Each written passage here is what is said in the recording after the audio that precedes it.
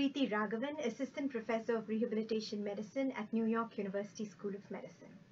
Hi, I'm Antonio Stecco, also a Rusk Rehabilitation, New York University School of Medicine. We have discovered a novel treatment of spasticity that not only can reduce spasticity but also increase passive and active range of motion. It's based on the reducing the stiffness of the extracellular matrix.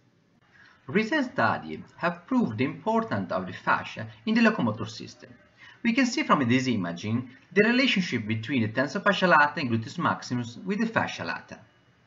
If we take a sample, we can see the subcutis as well the skin, what we call the hypoderma, the superficial fascia, as well the deep fascia with the three layer of connective tissue that glide one over each other.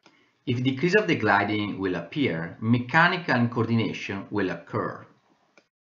We look forward to presenting the rationale and indications of using hyaluronidase injections to reduce spasticity and we will also present several case studies.